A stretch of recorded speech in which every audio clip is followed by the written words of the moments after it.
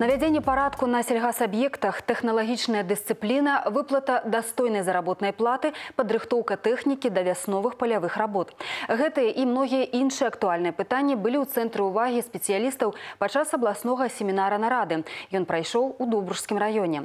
Аб агучаных высновах, заўвагах і планах сюжэт нашых карэспандэнтаў. Практычная частка семінара нарады пачалася з наведвання малочна-таварнай фірмы «Рассвет» адкрытага акцыянернага таварыства «Жгунская». У Добружскім раёне самы высокі па рэгіёне працэнт ферм, пабудаваных яшчэ ў сярэдзіне мінулага стагоддзя. Усяго ў 13 сельгасарганізацыях раёна прыкладна 60 ферм. Масава ўзводзіць новыя затратна, таму трэба наводзіць парадак у існуючых, пачынаць з мінімальнага, напрыклад, з належнага санітарнага стану ў гаспадарках. Конечно же, эти фермы, э, как сказал глава государства, надо приводить в порядок, налаживать трудовую дисциплину и получать продукцию.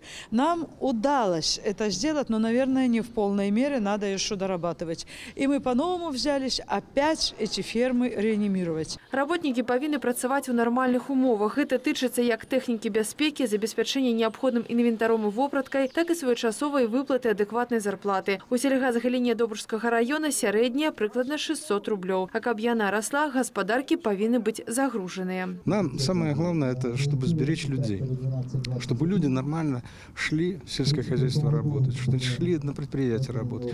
И поэтому мы показываем руководителям района, инженерной службе и всем остальным заинтересованным, что не надо сильно много больших вложений. Ведь база-то есть.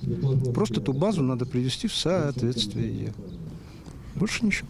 Зараз у рэгіёне рыхтуюць да вясновых палявых работ агрэгаты. Летась, калі падзяліць усю купленую сельгастэхніку на колькасць гаспадарак, то на кожную прыйшлося прыкладна па 8 новых адзінак. Гэта у тым ліку глебаапрацоўчыя кормаўборачныя машыны. Усе пасяўныя агрэгаты павінны быць падрыхтаваныя да першага сакавіка. Акцэнты на другасны рынок. Размова аб тым, каб аграсервісы в обласці давалі другое жыццё тэхніцы, якая выпрацавала свой рэсурс. Яе можна рамантаваць і затым прадаваць на палову танней, чым новую, прычым з гарантыяй гарантыі на год. А зараз аграсервісы чатырох раёнаў займаюцца такой работай. Задача далучыць да гэтай дзейнасці ўсе існуючыя ў вобласці. Прычым вяртаць да працы неабходна не толькі сельгасмашыны, але і вузлы, механізмы і дэталі. Вторичный рынок должен жить. Но для этого надо э, еще потрудиться э, с рекламой, с биржей, с э, ярмарками, то есть с представлением этого ресурса на, на рынке. Дарэчы, сёлета плошчы для засухаўстойлівых культур у рэгіёне павялічыць прыкладна на 10%. Акцэнт на проса і кукурузу. А апошняя культура сёлета зойме каля 350 тысяч гектараў палеткаў. Работаем с такой культурой, как проса. Вот. Она даст нам также хорошую прибавку э, кормам.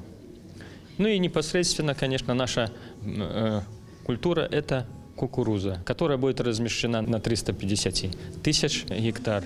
Из них 79 тысяч – это на зерно.